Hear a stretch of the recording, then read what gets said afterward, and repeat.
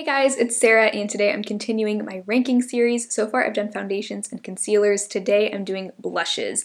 And I decided to break this into cream and liquid blushes and powder blushes. I just don't feel like I can compare cream blushes to powder blushes. They're like two completely different things to me. So I'm gonna try to make it a little easier on myself and break them into two separate categories. This was hard. I was not prepared for how hard this was gonna be. Truly, I love every single one of my blushes. So to rank them from worst to best is pretty impossible, but I am gonna just do my best here. I have six cream slash liquid blushes and six powder blushes. So starting with the creams, my least favorite cream blush is the River Organics Pinch Cheek Color. The only thing that bugs me about this one is that it's just a very kind of stiff formula. I just wish it was a little bit smoother and creamier. It's a very subtle blush. My favorite way to apply it is to go into it with a brush and then apply that to my cheeks. Um, sometimes I also apply it just with my fingers, but I feel like a brush is the best way to go about it. Um, I've kind of realized I have a lot of cream stick blushes. Four out of my six cream blushes are in stick form. And what I think I've realized is that I think I'd much rather have cream blushes in like a pan or a potted container rather than a stick because Nine times out of 10, I'm going into it with a brush or my fingers anyway. I'm not just drawing it directly onto my cheeks. Anyway, that's just a realization that I've had recently. My number five is the Jordana Triple Play All Over Color in the shade Spicy Rose. So technically this can be used on the cheeks, lips, eyes. It's supposed to just be a multi-purpose stick, but I pretty much use it as a cream blush most of the time. It is really pretty as a lipstick though. So this is a really, really beautiful rusty rose kind of color. It's, it's the, definitely the most brown toned blush that I have. It looks like it would be a little deep for my skin tone, but I actually think it's really, really pretty. I love this one. There's no shimmer to it. There's also no shimmer to the River Organics one, by the way. I also love their contour and their highlight that's in this same type of packaging. But yeah, this is a really, really pretty color and it's definitely quite smooth and easy to blend out.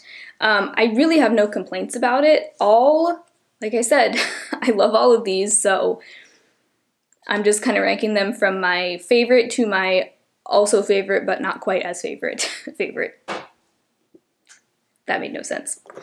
Next, I have another stick blush that I love. This is from Annabelle, and it's their Perfect Cream Blush. This is in the shade Subtle Coral.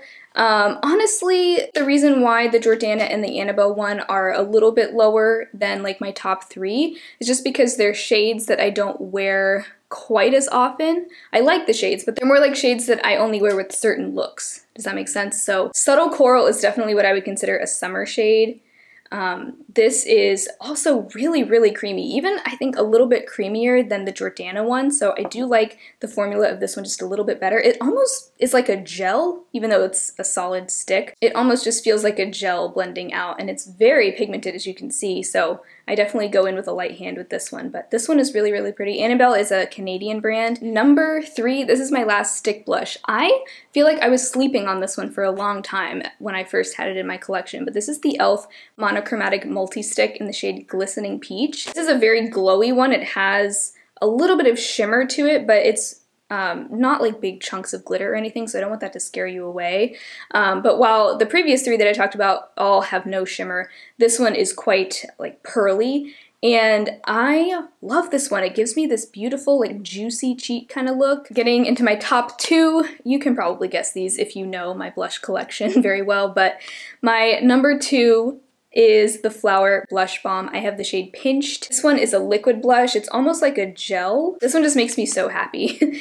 um, again, there's no shimmer to this one, but it just blends out so, so easily and seamlessly. If you are new to cream or liquid blushes and you don't normally like them, I would recommend trying this formula because it's just something special. This is kind of the cream blush that got me into cream blushes and now I, I just, I love all cream blushes so much. And then my number one favorite cream blush is the Clove + Hallow Hydratint in Blossom. The main reason this is my number one cream blush is because the shade is just so perfect. I could wear this every single day. It would go with any look. It's just the perfect light blush color for my skin tone. It's got this little, it looks like a nail polish and you can just kind of dot it on. I feel like I can't mess this up. It's just so foolproof and it's my absolute favorite. It's actually my favorite blush out of all my blushes, both cream and powder. But looking at all of these cream blushes, it, it really pains me to rank them because I love them all so much. Um, but I guess you can kind of tell that I do prefer this either kind of gel or liquid format as opposed to a stick. That is a lot of the reason why these ranked a bit higher. And I would like to, I don't know why I don't have any like potted cream blushes. e.l.f. recently came out with their new putty blushes that are in like a, a pot and I want to try those. Okay, getting into my powder blushes, I like I said, I have six of these as well.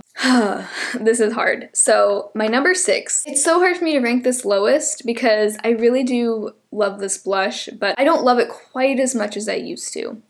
It is the Milani Powder Blush in Romantic Rose. So this is my oldest blush. I've had it for five years.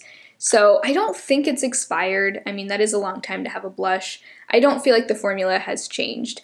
I have hit pan on this one. The pan is, I know it looks weird because this blush is actually hollow. This is a matte, just kind of dusty rose blush. I really like this one. Okay, don't get me wrong, but it's a little dry.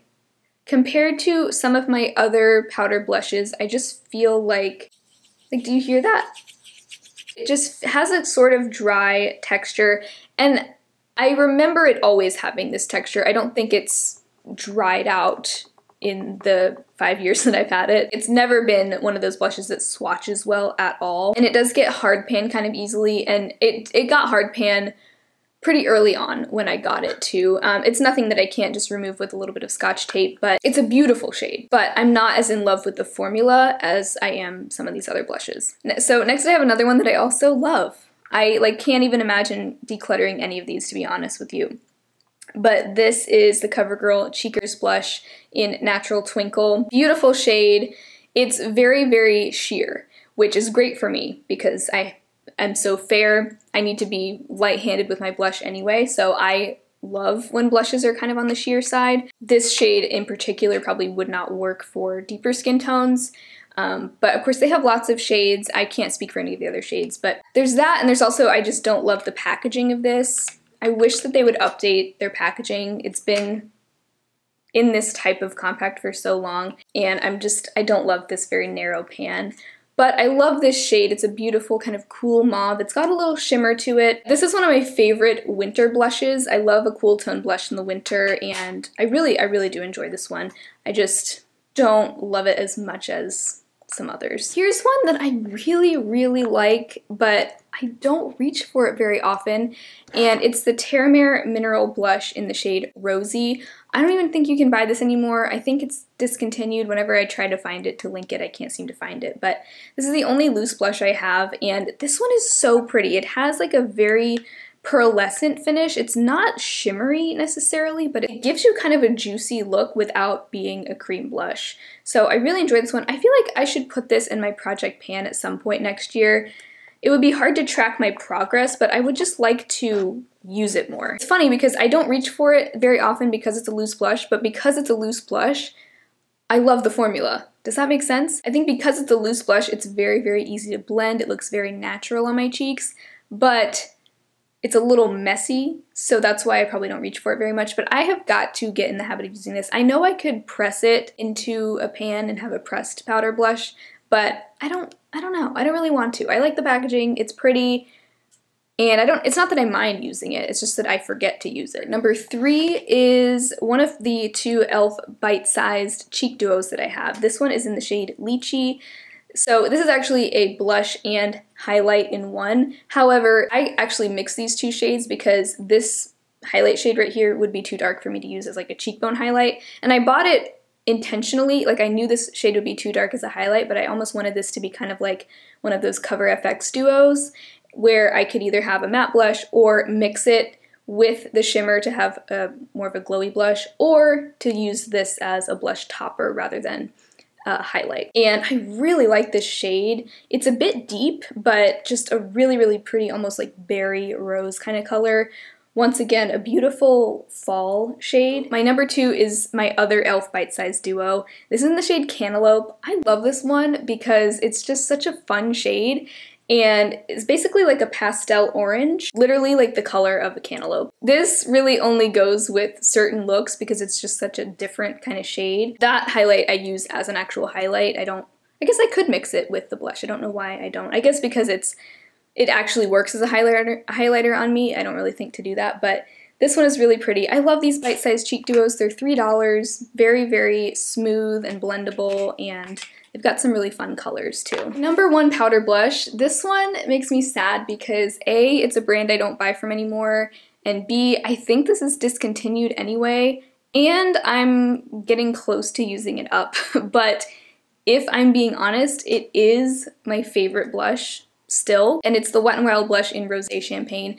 I think last year I did a blush ranking video, probably in the spring of last year, this was my number one in that video as well, and it still is. I have had so much fun panning this. I love using this. I use it almost every single day, whether I'm pairing it with one of my other powder blushes or sometimes I'll top one of my cream blushes with it. This is like a dusty peach is how I like to describe it. This is a glowy blush. It has a little bit of a sheen to it, but somehow they made it not look glittery and sparkly.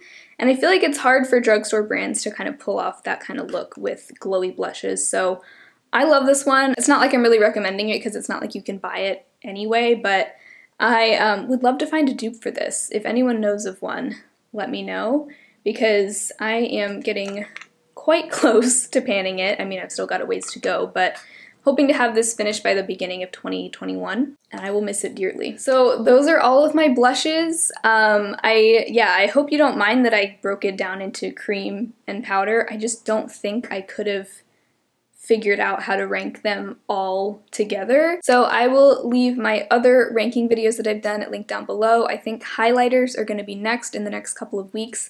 Um, if you enjoyed this video, definitely make sure to give it a thumbs up and subscribe to my channel. I'd love to see you again very soon, and hopefully I'll talk to you in my next video.